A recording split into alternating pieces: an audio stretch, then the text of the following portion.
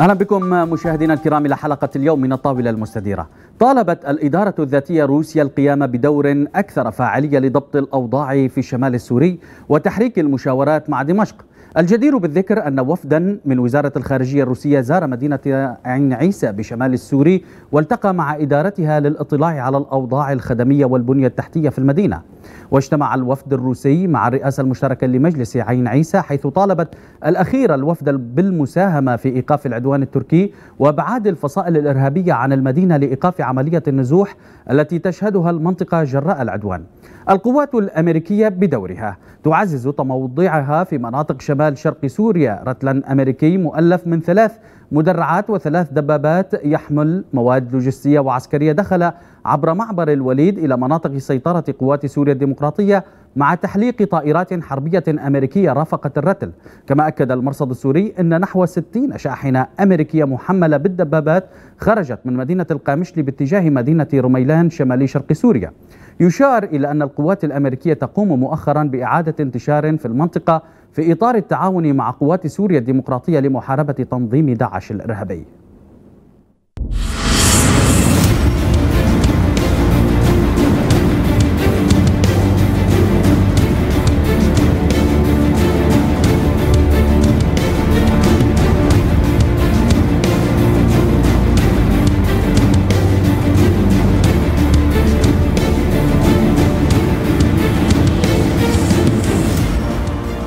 وللحديث عن هذا المشهد وكشف ثناياه يسعدني أن أرحب بضيفي هنا في الاستديو السيد أو الدكتور عبد الكريم عمر الرئيس المشترك لدائرة العلاقات الخارجية في الإدارة الذاتية لشمال وشرق سوريا. أهلا بك دكتور عبد الكريم.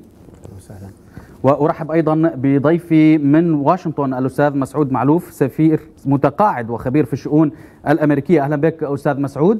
ومن موسكو دكتور وسام جواد كاتب ومحلل سياسي. أهلا بك دكتور وسام. لو أبدأ سؤال حلقة الليلة من لدنك ضيفي من واشنطن أستاذ مسعود معلوف. الآن لو تحدثنا بين الصراع الدولي وبين التخطيط الإقليمي الحاصل في شمال وشرق سوريا من هو الذي يضبط الإيقاع في هذه المنطقة؟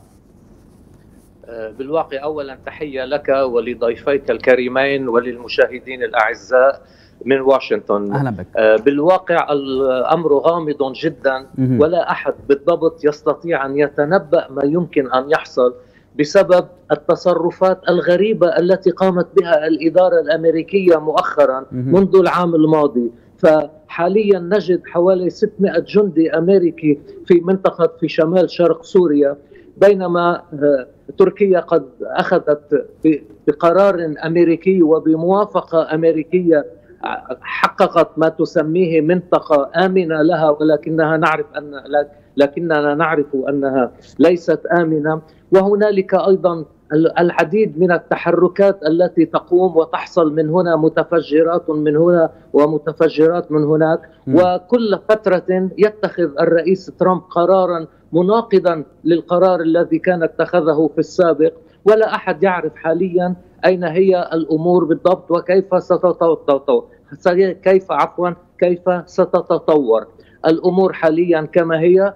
تركيا تحتل بصورة غير شرعية وبموافقة أمريكا وحدها قطعة من الأراضي السورية على حدودها. هنالك الولايات المتحدة واقعة في موقف حرج جدا. فهي متحالفة مع تركيا في منظمة حلف شمال الاطلسي الناتو وهي متحالفة مع الأكراد لمحاربة داعش وهؤلاء وهذان هذان الحليفان مختلفان مع بعضهما البعض ويحاربان بعضهما البعض ويكرهان بعضهما البعض وبالنتيجة أصبحت أمريكا قد خسرت ثقة جميع الفرقاء. ولا يتعاون معها ولا بالأحرى لا يتحالف معها إلا من هو بحاجة ماسة لكي يتعاون فترة مرحلية لأنهم يعرفون أن الولايات المتحدة لن تستطيع أن تبقى حليفة لهم دائما فهي تغير موقفها. ولذلك لا نعرف بالضبط كيف ستتم التطورات في المنطقة. هل ستكون على الصعيد المحلي فقط؟ هل هنالك تدخلات بعيدة المدى؟ ويبقى أن الولايات المتحدة في تدخلها حاليا في المنطقة التي نشرت فيها بعض الجنود تنظر دائما في الأفق البعيد إلى إيران وهي تريد وتفعل كل شيء وتنظر إلى إيران لأنها تسعى إلى إعادة المفاوضات معها ولكن هذا حديث حديث ربما يأتي لاحقا. ولكن في الوضع الحالي حاليا أنا شخصيا أقول بصراحة أنني لا أرى في الموقف الأمريكي خطوطا عريضة نعم. واضحة نستطيع أن نفهم منها ما هي السياسة نعم. الأمريكية أو ما هي الاستراتيجية الأمريكية في المنطقة. لنرى كيف يقرأ الدكتور وسام الإيقاع الروسي أو الدور الروسي في شمال شرق سوريا على وجه الخصوص دكتور وسام. عفوا اعتذر الصوت غير واضح. طيب سأعيد عليك سؤال إن كنت تسمع صوتي الآن بشكل واضح أرجو منك أن تعلمني بذلك تسمعني بشكل واضح دكتور وسام؟ لا. طيب آه، سنحاول استدراك هذه المشكلة ريثما تجهز. سأرحب بك مجددا دكتور عبد الكريم عمر. أهلا وسهلا مساء الخير وتحية لضيفيك الكريمين. مساء الأنوار. يعني في ظل هذا الطرح من قبل الأستاذ مسعود وتساؤلنا وتساؤل الكل الذي يراقب الملف السوري آه، آه، نرى تخبط حقيقي في الاستراتيجية الأمريكية. الآن بعد آه، هذا المشهد الدموي والعدوان التركي وهناك من يؤكد بأن هناك ضوء أخضر أمريكي. في ظل كل هذه المعطيات كيف تنظر الإدارة الذاتية الآن مجددا لترتيب وضعها الداخلي وترتيب دور علاقتها مع الولايات المتحدة الأمريكية؟ يعني بالنسبة لعلاقة الإدارة الذاتية مع الولايات المتحدة الأمريكية كان آه، هناك تنسيق آه، آه، في مواجهة داعش. في الوقت الذي حصل هذا التنسيق كانت داعش تهدد المنطقة وكانت كوباني على وشك السقوط. وبالنسبة للتحالف الولايات المتحدة الأمريكية كانت بحاجة أيضا إلى قوة أرضية لمواجهة الأرهاب. ونحن عند آه، آه، ما شنت داعش الهجوم على المنطقة بصورة خاصة على كوباني آه، توجهنا بالنداء إلى كل المجتمع الدولي إلى روسيا الاتحادية حتى إلى دمشق لأن تلعب دورها. لكن ما حصل أن التحالف الدولي هو الذي كان بحاجة إلى هذا التحالف وبالنتيجة استطعنا بهذا التنسيق أن نقضي على دولة داعش وهذا ما خدم كل الإنسانية.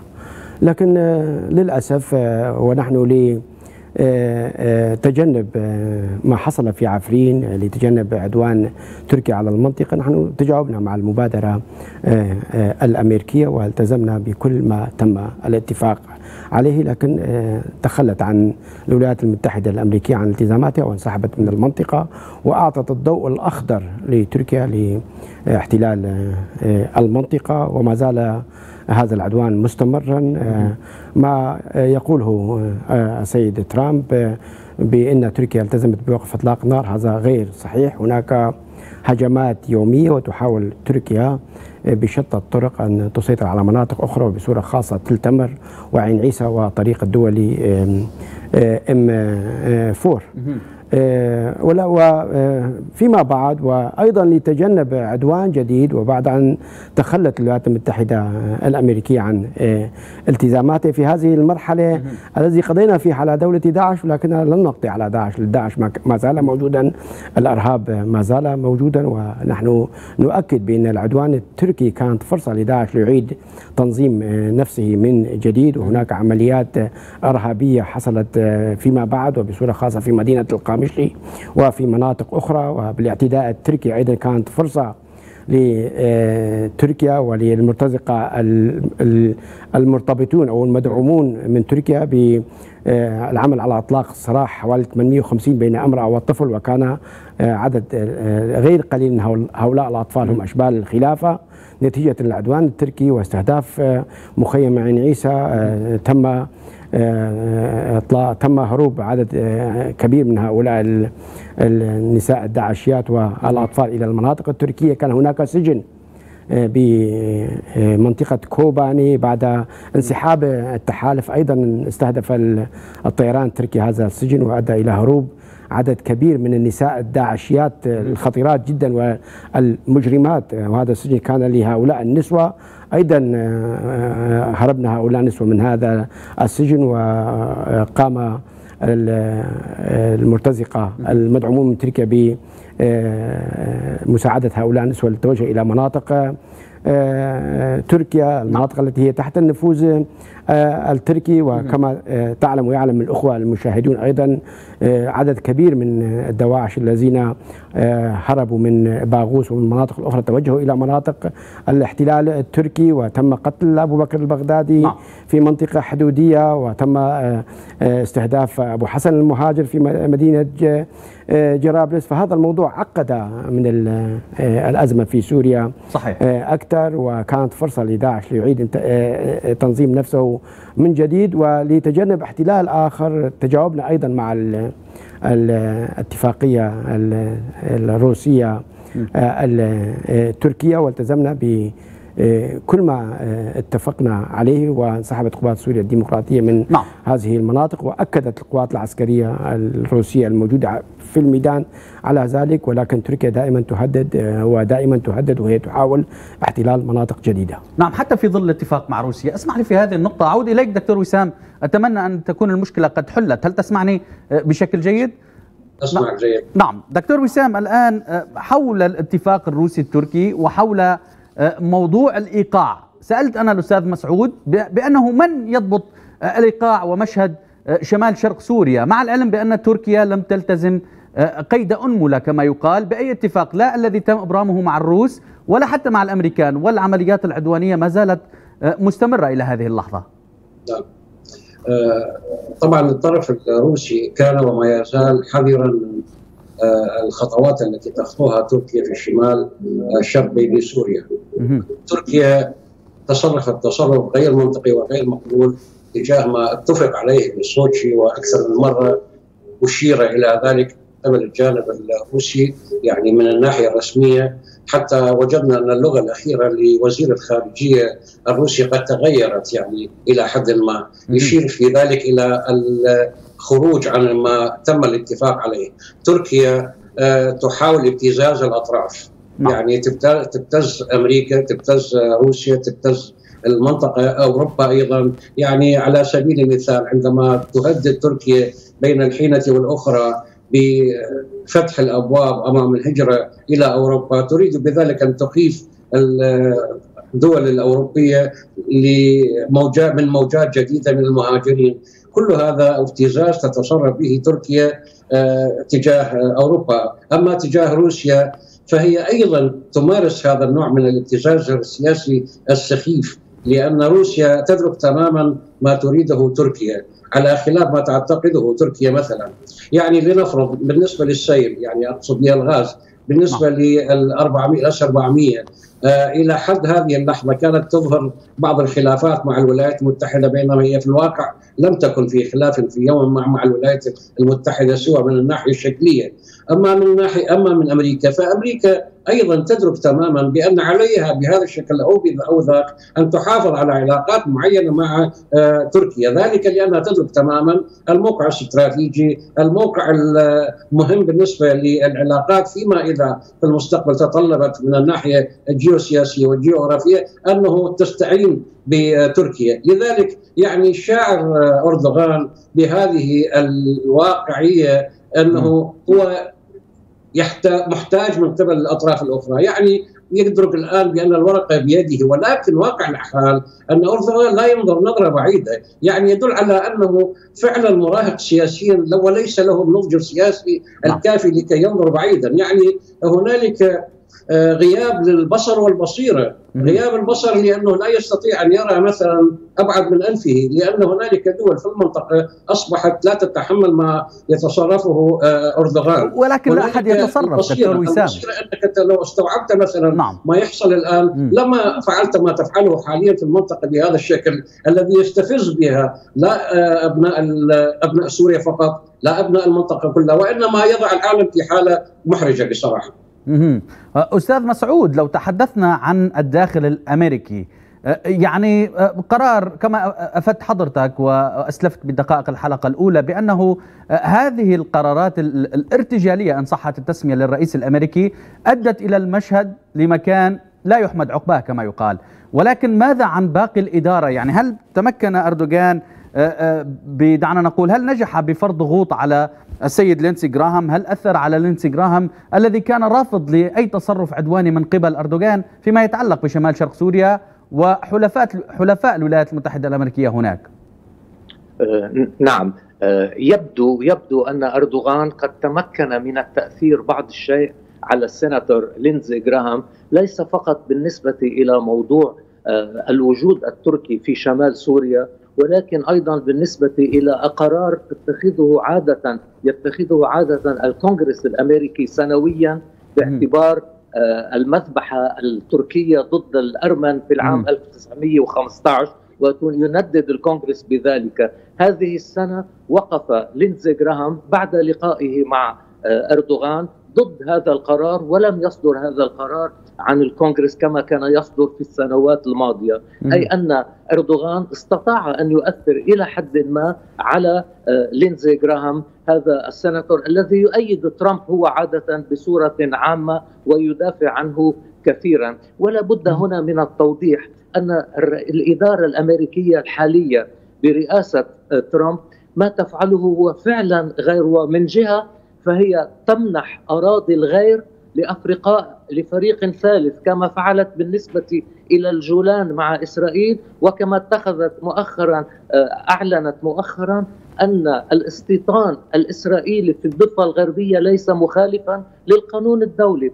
ومن جهة ثانية سمحت لتركيا أن تغزو قسما من الأراضي السورية في الشمال الشرقي من سوريا وهي وهذا أمر خطير جدا لأنه ليس فقط يشكل خرقا فاضحا للقانون الدولي ولكنه قد يشجع دولا أخرى ربما روسيا ربما الصين ربما من يعرف من بأن تقوم بأعمال نفسها وبأن تحتل أراضي غيرها دون مسوغ قانوني. وهذا أمر خطير جدا ويخلق وقد خلق سابقة جدا خطيرة، الإدارة الأمريكية هنا ليست متماسكة فالكونغرس بغرفتيه هنالك مجلس الشيوخ بأكثريته الجمهورية التي تؤيد الرئيس ترامب ومجلس العموم مجلس النواب الذي تسيطر عليه أكثرية ديمقراطية هو ضد الرئيس ترامب. والرئيس ترامب حاليا في وضع دقيق جدا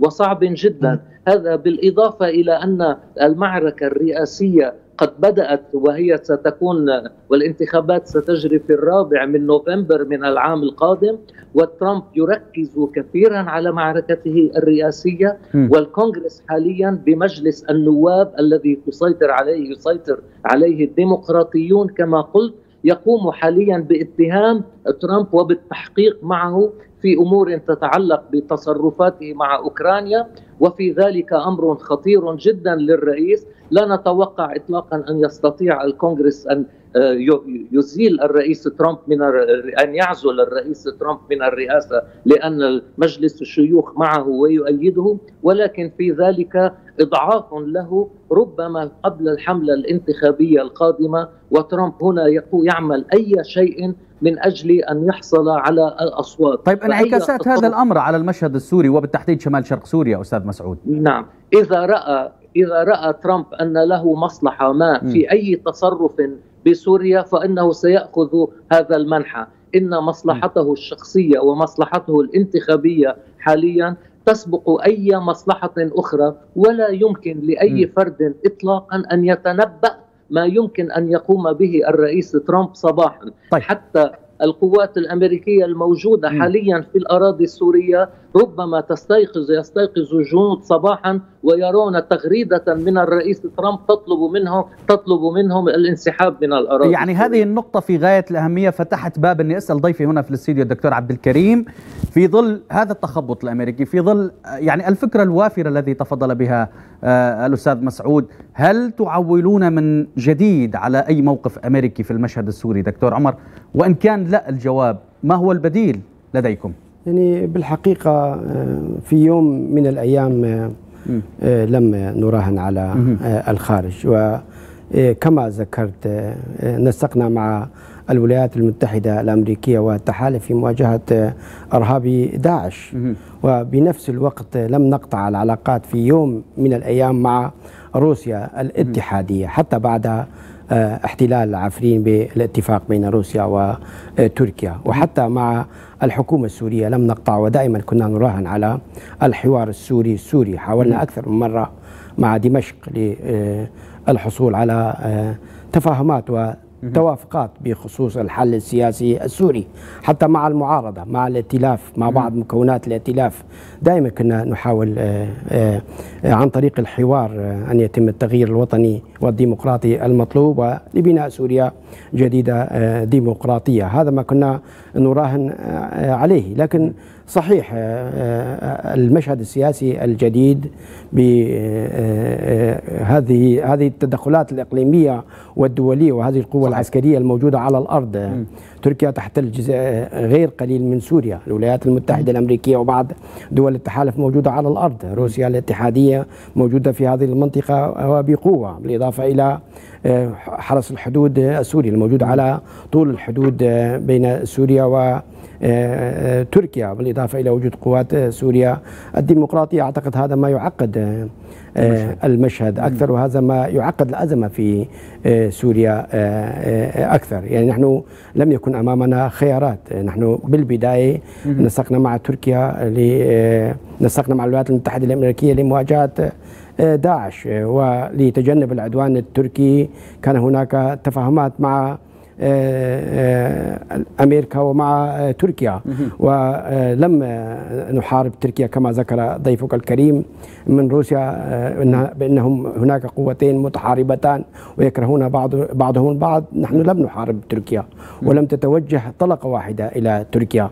ودائما كنا نحاول أن يكون هناك أفضل العلاقات بين الدولة الجاره تركيا. ودائما كنا نحاول يكون هناك آه، حوار بيننا آه، وبينهم. ونحن لا نكره تركيا ولا نكره الشعب التركي تركيا. تركيا هي من تهدد هذه المنطقة. تركيا من؟ هي من احتلت هذه المنطقة نتيجة لأزمتها الداخلية ونتيجة للفوبيا من الكرد ومن قضية الشعب الكردي. دائما يقولون الأتراك بأنهم لا يقبلون إقامة أي كيان ديمقراطي كردي ولو على سطح القمر. كانت هناك مقولة مشهورة للرئيس التركي السابق سليمان دمرل كان يقول لا نقبل بإقامة أي استاتوه ديمقراطي كردي ولو بشكل خيمة بأدغال أفريقيا. صحيح. من هذه الذهنية تركيا هي تحارب آه، الكرد طيب ومن هذه الذهنية يعني في نقطة في غاية الأهمية موضوع الروس يعني دعنا نتحدث قليلا عن هذا الدور الروسي. بما أن الدور الأمريكي الكل أجمع بأنه لا يتم الرهان عليه.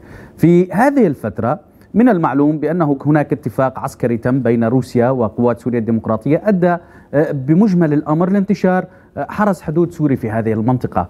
هل هناك وعود بأنه سينبثق دعنا نقول آه، حل سياسي أو تفاوض سياسي بينكم وبين دمشق؟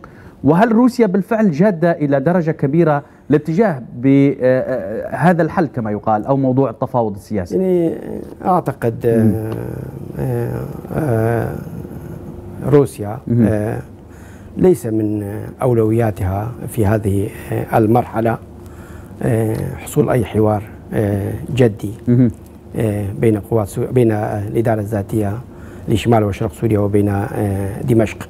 لديها أولويات أخرى. الأولوية من الأولويات هي تعميق الأزمة أكثر بين تركيا وبين الناتو. من أولوياتها الاتفاقيات التجارية بينها وبين تركيا. صفقة الصواريخ اس 400 موضوع أنابيب الغاز وهذا ما يشكل لدينا هواجس تصريحين لسيد وزير خارجية روسيا خلال الأسبوع نعم. آه، يدعي فيها بأن قوات سوريا الديمقراطية لم تلتزم بالتفاهمات التي تم الاتفاق عليها وأن آه، الكرد والإدارة الذاتية تراجعت عن الحوار مع دمشق بعد آه، عودة الولايات عودة الولايات المتحدة نعم. إلى المنطقة. روسيا هي أكبر أكثر دولة تعرف بأننا دائما كنا نراهن على الحوار السوري السوري ودائما كنا نطرق أبواب روسيا. اعتبارا من 2015 و2016 كان هناك لقاءات بيننا وبين دمشق بقاعدة حميميم الجوية وكانت يومها روسيا جادة لأن كان هناك مشكلة بينها وبين تركيا نتيجة لإسقاط الطائرة الروسية. لكن فيما بعد وبعد عودة العلاقات بينها وبين نعم. آه آه روسيا تغيرت بينها وبين تركيا. تبعها. ب 2017 صحيح.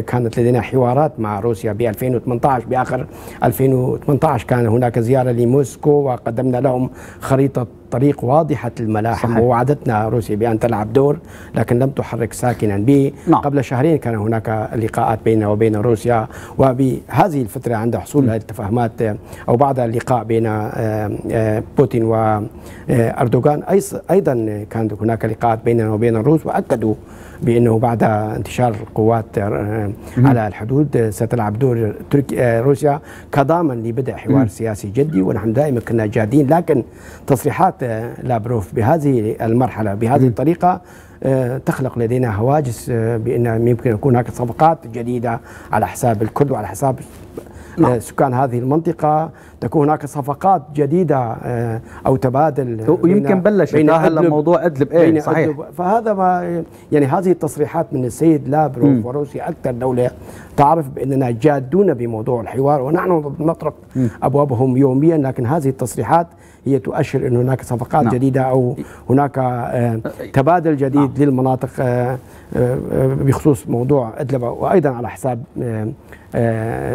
هذه المنطقة وعلى حساب نعم. مكونات شمال وشرق سوريا ودائما الشعب السوري هو من يدفع الضريبة يعني للأسف كل هذا الكلام والحديث ذكرني بالمثل القائل مصائب قوم عند قوم فوائد دكتور وسام مصائب قوم عند قوم فوائد هل بالفعل لا يهم الروس الآن في هذه الفترة موضوع الحوار السوري السوري وإنهاء الأزمة السورية سياسيا لأنها ترنو إلى دعنا نقول أهداف استراتيجية وعلى رأسها موضوع آه، خلق شرخ ودق اسفين بين كل من الناتو وتركيا. ليس بهذه الحدة يعني آه، روسيا لو لم تكن مهتمة بحل القضية السورية لما انشغلت بها في جنيف وفي أستنا وفي أماكن أخرى وفي سوتشي يعني روسيا يهمها الحل المنطقي للقضية السورية ككل يعني بالنظرة الشمولية. إذا كانت القضية الكردية ضمن هذه المشكلة القائمة حاليا فأيضا في هذا المجال لم تدخر آه، وسعا روسيا في سبيل إيجاد صيغة مقبولة للطرفين يعني أقصد الطرف الحكومي والطرف الكردي أيضا.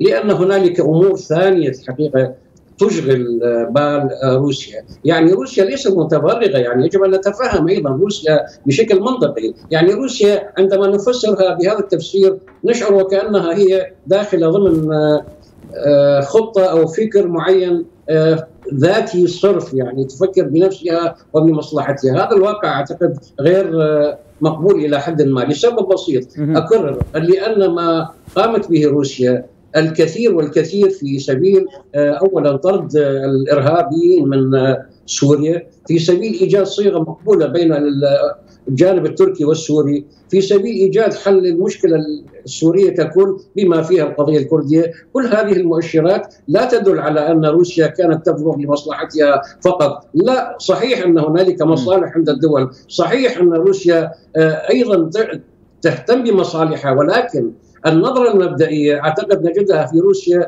أكثر بكثير مما نجدها في أي دولة أخرى وعلى هذا الأساس علينا أن لا نظلم م. هذا الجانب الذي وقف إلينا معنا هذه الفترة وأن نعطيه حقه كما يجب طيب دكتور وسام يعني نعم. الشاهد هنا أنا آسف لمقاطعتك ولكن في نقطة في غاية الأهمية يعني يوجد لدينا ضيف في الاستديو هو الرئيس المشترك لدائرة العلاقات الخارجية في الإدارة الذاتية لشمال وشرق سوريا. يتحدث بكل شفافية وأنا متقصد الليلة بأن أحصل على معلومات دقيقة. أه، أه، هناك لوم على روسيا بأن روسيا غير جادة في موضوع خلق حالة إيجابية أه، تكون راعي إيجابي لخلق جو تفاوضي بين كل من دمشق والإدارة الذاتية في شمال وشرق سوريا. يعني كيف يقرأ ويفسر هذا الأمر؟ أولا نحيي ضيفكم من الطرف الكردي. يعني أنا احييه فعلا لأنه بس أود أن أقول له أنا أيضا من ضمن المجموعات الكثيرة التي وقف إلى جانب القضية الكردية في عراقنا مثلا وما زلت أقف إلى قضية الشعب الكردي لأنها قضية عادلة كبقية شو لك يعني الفئات التي تكون المجتمع السوري والعراقي. لكن هنالك أحيانا تظهر بعض البوادر التي علينا أن نأخذ بنظر اعتبار يعني. الطرف الكردي أحيانا ليس ككل وإنما بعض الأطراف في القيادة الكردية أحيانا آه، تتبع سياسة ربما تكون آه، غير مقبولة. يعني آه هذه التي أشار إليها لافروف في الفترة الأخيرة لم تكن اعتباطا. يعني كان لها أيضا أسبابها. عندما يقول بأنه عندما انسحب الأمريكان وبدأت تركيا بالتحرك نحو الشمال الشرقي آه لجأ الإخوان الأكراد إلى إيجاد صيغ مقبولة وتفاهم مع النظام آه، في سوريا. ولكن ما ان عادت أمريكا حتى عاودوا إلى اتخاذ آه، مواقع ثانية، هذه الأمور لا تدل على رضا من قبل الطرف الروسي طبعا لأنه وضعت أمامهم آه، يعني نقاط معينة كان يفترض أن يفرض أن تؤخذ بها لكن ذلك لم يحصل للأسف يعني أنا أحدثك وأقول لك بصراحة نعم. حتى هنا الأخوة الأكراد في موسكو يعني ما يسمى بنفس بمنصة موسكو هم أيضا متفقين تماما على أن يكون الاتفاق بين الحكومة السورية والأخوة الأكراد بشكل داخلي سوري بحت يعني لا للتدخلات الأجنبية. أخي العزيز أنا في اعتقادي وفي تصوري أن من يعتمد على أمريكا أن من يعتمد على إلى حد ما على تركيا، أن من يعتمد على روسيا حتى على روسيا هو واهم.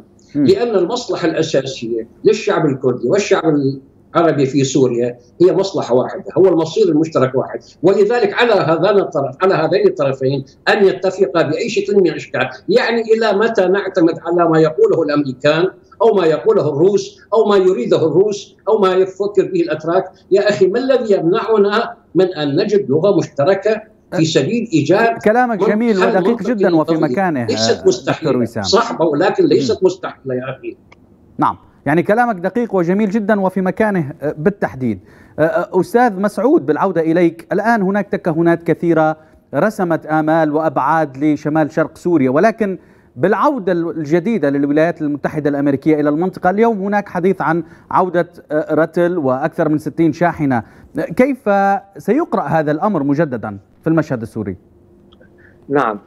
هذا الأمر برأيي أنا الشخصي هو أمر مؤقت لأن كما قلنا في السابق وما كما تفضلت أنت بالذات هنالك تخبط في السياسة الأمريكية. عندما قرر الرئيس ترامب في أكتوبر في العام الماضي في أواخر العام الماضي الانسحاب من سوريا ما أدى إلى استقالة وزير الدفاع عنده. قرر فيما بعد أيام قليلة أن يبقى قليلا وسحب بعض الجيوش فقط.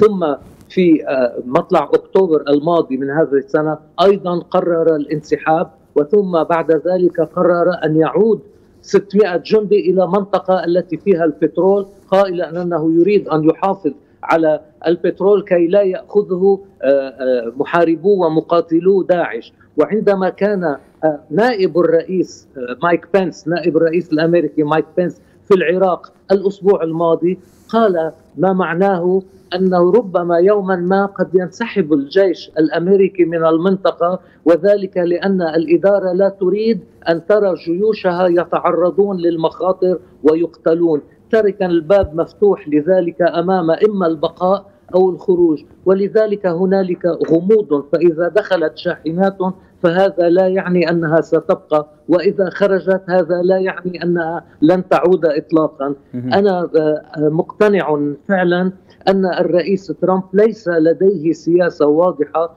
ولا يعتمد على المستشارين الأقربين حواليه العسكريين الذين يعطونه يعطوه النصائح أو المعلومات. فهو لا نعرف كيف يتخذ قراراته. فدخول الشاحنات التي آه، تحدثت حضرتك عنها الآن آه، لا أستطيع أن أتنبأ أي شيء بما ولا أفسره بأي إلا أنه ربما قد يكون لزيادة عدد الجنود المتواجدين لحماية أبار النفط كما يقول الرئيس ترامب لأنه له مصلحة أيضا في ذلك هنا. أو ربما هل هنالك من تفكير آخر؟ هل يودون دعم آه، فريق على حساب فريق آخر؟ الموضوع ما زال غامضا بالنسبة إلي وبالنسبة إلى الكثيرين لأن ذلك لا يدخل ضمن استراتيجية أمريكية واضحة لسياستها تجاه سوريا أو تجاه تركيا أو تجاه العراق كلها أمور ارتجالية كما. تفضلت حضرتك في بداية هذه الحلقة. نعم دكتور عبد الكريم بالعودة إليك يعني في ظل هذا الحديث في ظل هذا المشهد الجديد في ظل أيضا عودة قوات الولايات المتحدة وإعادة تموضع. دائما الحجة الروسية هي بأنكم كلما تغير الموقف الأمريكي تغير موقفكم. وأيضا دمشق في نفس الجزئية والسياق تقول بأنكم تتعاملون مع دولة احتلال الولايات المتحدة الأمريكية. في هذه الجزئية لو سمحت. يعني هذا سؤال مهم جدا. أتمنى أن تعطيني بعض الوقت عليه أن أرد على مداخلة الدكتور وسام أيضا. طبعا. طبعا أتفق مع الجزء الأخير من مداخلته من يراهن على الآخرين يكون لذلك نحن لم نراهن في يوم من الأيام لا على الولايات المتحدة الأمريكية وعلى الآخرين. وبالوقت الذي كان التنسيق بيننا وبين الولايات المتحدة الأمريكية بأعلى المستويات ولم يكن يسيطر النظام على 15% من مساحة سوريا كنا نحاول بقدر الإمكان أن يكون هناك حوار جدي بيننا وبينهم وكان دائما نطرق أبواب موسكو لتلعب دور بهذا الموضوع لتكون تلعب دور ضامن. ولكن للأسف النظام لتاريخ اليوم لم تتغير ذهنيته. ما زال يفكر بذهنية قلب قبل 2011 ويعتقد بأنه عسكريا يمكن أن يسيطر على كل سوريا ويعيد إنتاج نفسه. هذا اولا. بالنسبة للدور الروسي اقولها للتاريخ لأن كل اللقاءات التي حصلت دائما كان جزء من هذه اللقاءات اعتبارا من اللقاءات التي حصلت بنهاية 2016 بحميميم وإلى كل اللقاءات مع الجانب الروسي ويمكن أن يسمعوني الآن بالخارجية الروسية. دائما كنا نحاول أن تلعب روسيا دورا بموضوع الحل السياسي ودائما كنا نقوم بمبادرات ودائما كنا نقدم خرائط طريق ودائما كنا نحاول أن تلعب روسيا دورا في هذا الموضوع. بعد عودة العلاقات بين روسيا وتركيا. كما ذكرت لم تكن أولويات روسيا هي موضوع الحوار بيننا وبين دمشق كانت لديها أولويات أخرى. ولكن بعد التفاهم الأخير بين بوتين سيد بوتين وأردوغان وبعد تجاوبنا مع هذه المبادرة كنا نعتقد بأن روسيا ستلعب دورا بموضوع الحوار السوري السوري. لكن تصريحات السيد وزير الخارجية في هذا في هذا الوقت وهو أكثر من يعرف موقفنا وهو أكثر من يعرف بأننا جديين بموضوع الحوار مع دمشق. هذا ما يخلق لدينا هواجس. نحن من طرفنا دائما كنا نراهن كما هو قال على الحوار السوري السوري ونراهن على الاتفاق مع دمشق. لكن عندما يكون الطرف الآخر غير مستعد ماذا سنعمل؟ هذا بخصوص مداخلة الدكتور وسام. بموضوع الولايات المتحدة الأمريكية بالحقيقة هذه ثالث مرة الرئيس ترامب يأخذ قرار بالانسحاب ويتراجع. لم نكن نحن من جلبنا الولايات المتحدة الأمريكية ولم نكن نحن من نقرر أن يخرج الولايات المتحدة الأمريكية من هذه المنطقة ولم يكون القرار بيدنا أو تم النقاش معنا بخصوص عودة الرئيس ترامب بقراري. أعتقد موضوع حماية آبار النفط أعتقد هذا كلام يعني غير دقيق. أعتقد عودة الرئيس ترامب عن قراره أعتقد لها علاقة بالضغوطات التي حصلت داخل الولايات المتحدة الأمريكية بعد قرار الرئيس ترامب بالانسحاب وبعد الانتهاكات التركية وبعد التعاطف الدولي معنا وحتى خيانة المجتمع الدولي الدور الذي لعبناها في مواجهة الإرهاب والتي خدمت كل الإنسانية وداعش ما زال موجودا. يتركنا السيد ترامب والمجتمع الدولي لقمة. لتركيا ليرتكب المجازر ولإبادة الشعب الكردي ولوعد هذه التجربة الديمقراطية أولا وثانيا لمصلحة الأمن القومي الأمريكي ومصلحة الأمن القومي لحلفائه. أعتقد نتيجة لهذه الضغوطات ولأن الانتخابات الأمريكية على الأبواب تراجع الرئيس ترامب عن قراره وأيضا عادت الولايات المتحدة الأمريكية إلى جزء من هذه المنطقة. وبداية السيد ترامب أهدى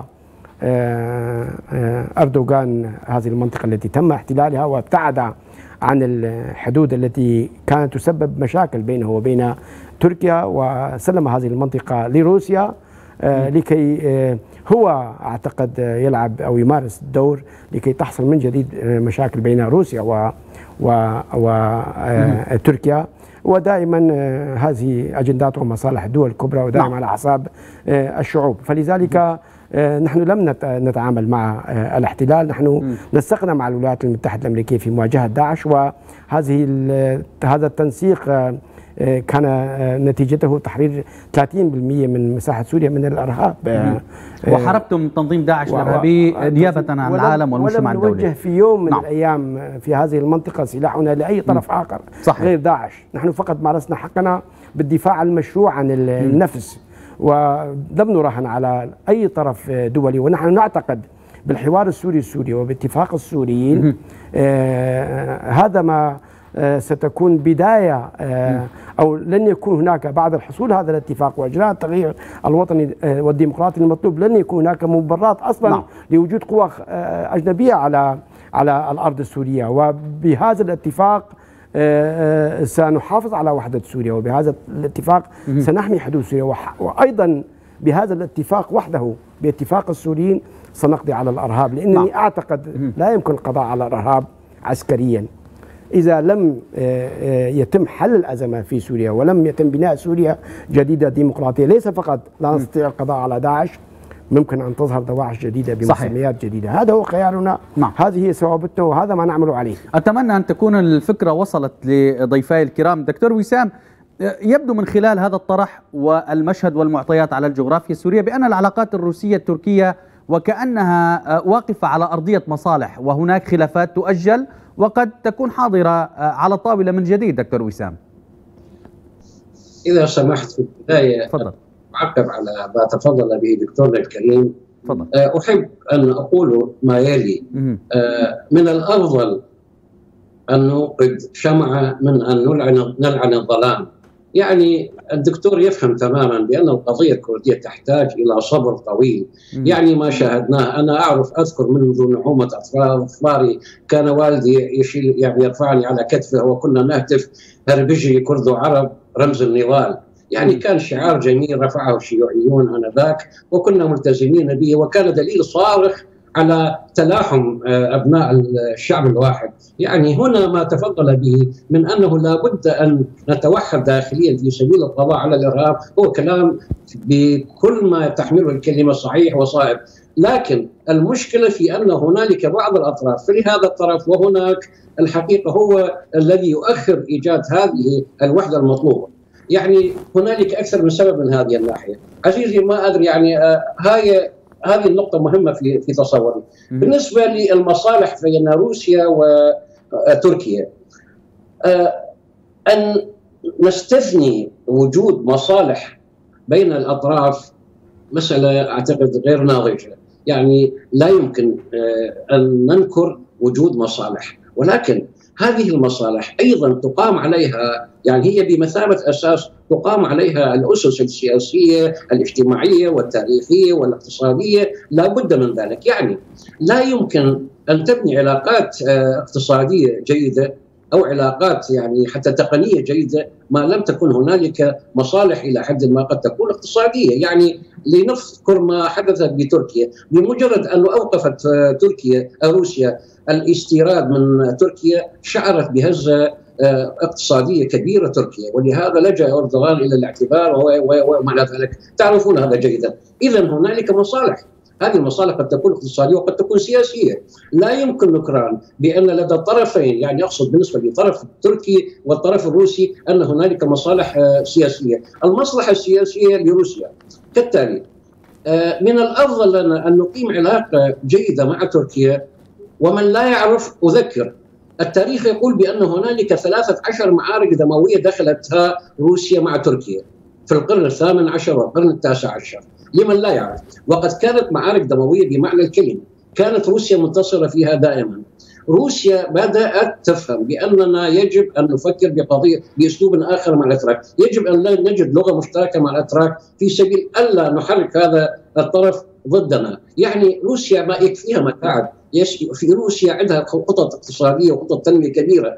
لكي لا يحدث ما ما لا تريده روسيا يجب أن نجد لغة مشتركة مع تركيا من أن تكون تركيا في علاقة جيدة مع أولئك الذين يبعدون عنها عشرات الآلاف من الاميال عزيزي هاي النقطة السياسية مهمة جدا، النقطة الاقتصادية، النقطة الاقتصادية للطرفين، يعني عندما يعبر السيل من خلال الأراضي التركية ستستفاد أيضا روسيا، ستستفاد تركيا، العلاقات بين الاستيراد والتصدير بين الطرفين، كل هذا مؤشرات على أن المصلحة لابد أن توجد بين الأطراف، يعني لا يمكن نكران المصلحة، ولكن هنالك مصلحة عن مصلحة، يعني لا يمكن المقارنة بين المصلحة التركية الروسية والمصلحة الأمريكية، المصلحة الأمريكية كانت دائما استعمارية استبدازيه استفزازية يعني آه، طيب. استغلالية للشعوب هذا هو تاريخ المصالح الأمريكية، يعني عندما تسحب قواتها من منطقة الرقة والحسكه لكي تقف أمام آبار النفط يعني دليل واضح لا يحتاج حتى البريطانيين سحبوا قواتهم وتوجهوا إلى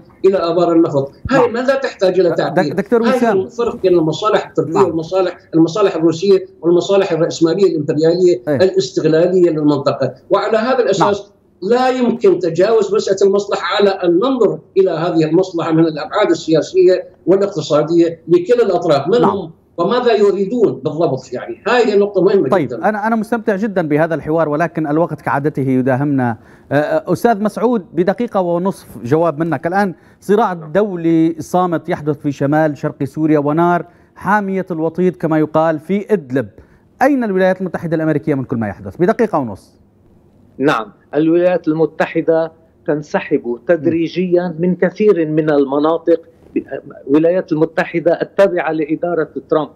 ترامب الأمر الوحيد المستقر في عقلية ترامب هو أنه يريد أن ينسحب قدر المستطاع ولكن هنالك ضغوطا كثيرة ضده كي لا ينسحب نهائيا من المناطق. ولو ترك الأمر له لانسحب بالكل من هذه المنطقة. وما يثبت ذلك أن قائد البحرية الأمريكية قائد السلاح البحري منذ يومين أقاله الرئيس ترامب وذلك بسبب موقف اتخذه من أحد الجنود الذين كانوا يحاربون في أفغانستان منذ مدة.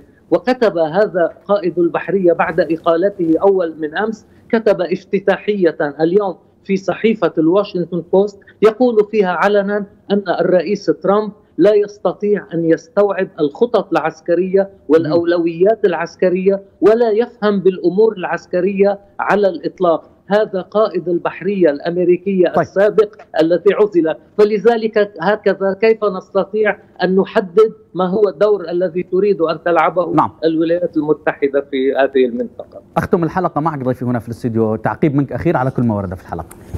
يعني أعتقد هناك مصالح دول وهذه المصالح نحن نتفهمها. لكن نتمنى أن لا تكون هذه المصالح على حساب الشعب السوري ودماء السوريين. نحن ما زلنا نراهن على الحوار السوري السوري. ونتمنى أن يكون هذه التفاهمات التي حصلت بين العسكرية بين قوات سوريا آه، الديمقراطية والجيش آه، السوري وانتشار الجيش السوري مع الشرطة العسكرية الروسية على طول الحدود آه، بين سوريا وتركيا تكون بداية لبناء ثقة. خليني أخذ منك سبق صحفي وأقاطعك ما أنه صرنا بالدقائق الأخيرة. بأمانة هل هناك شيء الآن أو مفاوضات جارية بينكم وبين دمشق أو دعوة أبداً أو شيء مرتقب أبداً. أو شيء من هذا القبيل. أبدا أبدا. التفاهمات التي حدثت هي تفاهمات عسكرية بين قوات سوريا الديمقراطية والحرس الحدود السوري والشرطة العسكرية الروسية. ونتمنى أن تكون بداية وهذا ما نسعى إليه لبناء الثقة ولبدء حوار جدي بضمانة روسية لحل الأزمة ولحصول تفاهمات بيننا وبين دمشق. دمشق تعرف وروسيا تعرف. لا يمكن أن تعود سوريا كما كانت. نعم. لا يمكن أن يعيد النظام بإنتاج نفسه. ومشروعنا هو مشروع ديمقراطي. نعم. والإدارة آه، آه، أنت تعرف ويعرف الأخوة المشاهدون ليست إدارة كردية. للكرد الشرف بأنهم قادوا هذا المشروع بأنهم آه، دفعوا ضريبة غالية لكن هذا المشروع هو ليس مشروع كردي والإدارة الذاتية لشمال وشرق سوريا هي إدارة لكل مكونات هذه آه، المنطقة. ونتمنى صحيح. أن تكون نموذجا أو آه، مثالا يحتذى بها في المناطق الأخرى. ونعمل معا لبناء سوريا نعم. جديدة ديمقراطية لا مركزية آه، وأعتقد هذه هي مصلحة كل السوريين وهي مصلحة المجتمع الدولي اولا وأخيرا. ولن يكون هناك أي حل إلا بعد حصول تفاهمات إقليمية نعم. ودولية ولاعبين أساسيين عند ذلك يمكن أن آه، نبدأ آه، الخطوة الأولى في طريق م. الحل للأسف أعتقد الأزمة آه، ستاخذ وقتا طويلا م. ودائما ستكون على حساب الشعب السوري وعلى حساب دماء السوريين ضيفي هنا في الاستوديو الدكتور عبد الكريم عمر الرئيس المشترك لدائرة العلاقات الخارجية في الإدارة الذاتية لشمال وشرق سوريا شكرا جزيلا لك على كل كلام القيم أه، وشكرا لك أيضا ضيفي من موسكو دكتور وسام جواد كاتب ومحلل سياسي على كل الاضاءات التي أنرت بها حلقة الليلة. وشكرا لك أيضا ضيفي من واشنطن الأستاذ مسعود معلوف سفير متقاعد وخبير في الشؤون الأمريكية على كل الكلام القيم الذي أغنيت وأثريت به الحلقة. شكر لطاقم عمل الطاولة المستديرة وشكرا اعظم لكم مشاهدينا عطيب وحسن مكرم تابع. دمتم بخير إلى اللقاء.